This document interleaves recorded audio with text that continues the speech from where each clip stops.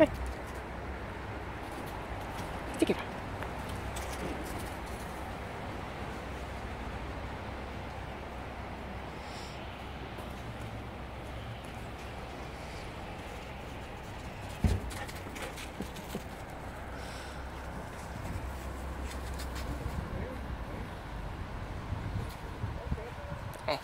Này này này, thôi.